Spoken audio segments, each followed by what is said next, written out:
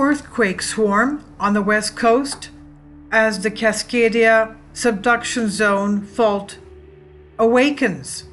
This is besides the 11 earthquakes that we had just a few days ago, the biggest one being a 5.6.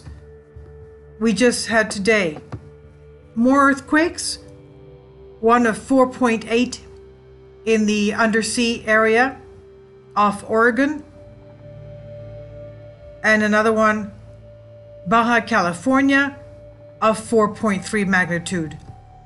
So it's not just the Cascadia, it's also the San Andreas Hayward Fault areas because of the fact that they're so close to each other.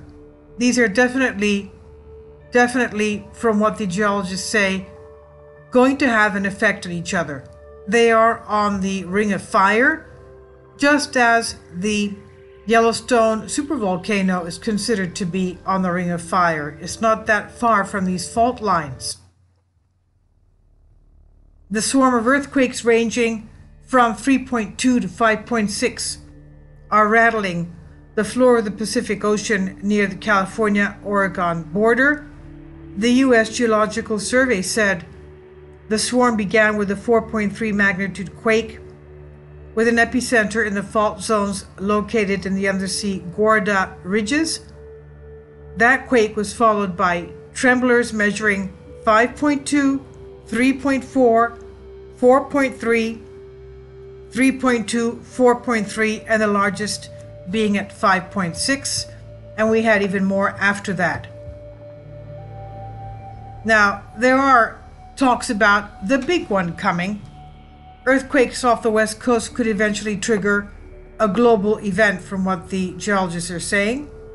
The string of recent earthquakes off the west coast as we said, ranging from magnitude 2.8 to 5.6, with the other two today from Oregon all the way to Baja California, could help trigger the earthquake colloquially known as the Big One.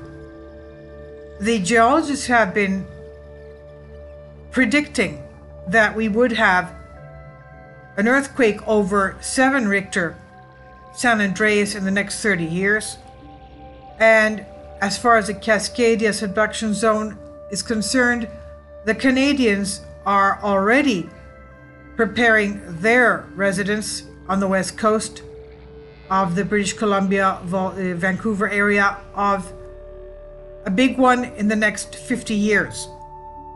Now, we don't know how prepared people are, and uh, these types of earthquakes would definitely give tsunamis. The map provided by the U.S. Geological Survey highlighting the 11 recent earthquakes occurring on the seabed of the Juan de Fuca tectonic plate, which is approximately six miles below the surface.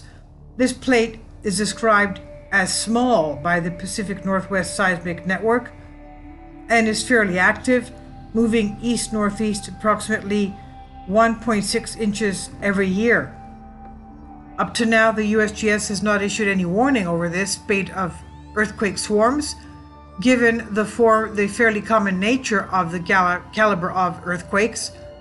Don Blakeman, who is a geophysicist at the National Earthquake Information Center, said, Quakes and eruptions spark talks, though, of Yellowstone supervolcano also eruption, also erupting. Part of this concern surrounding this plate is that it's not a smooth motion, but a motion described as sticky, causing strain to build up until the fault breaks, and a few meters of the Juan de Fuca slip under the North American in a big earthquake. The uh, PNSN noted that it would take a lot of slip, that's approximately uh, 10 seconds of meters, over a very large area to generate a magnitude 9 level earthquake that could hit the region but it also noted that it does not occur approximately it does occur every approximately 550 years on average. The cause for this concern is what happened when the Juan de Fuca plate eventually submerges under a much larger Pacific plate. For almost 330 years, the plate has continuously been pushed down, an activity that will eventually lead to be pushed under the North American plate, causing the region to sink six feet in the minimum and it may result in one of the largest earthquakes in human history. In human history.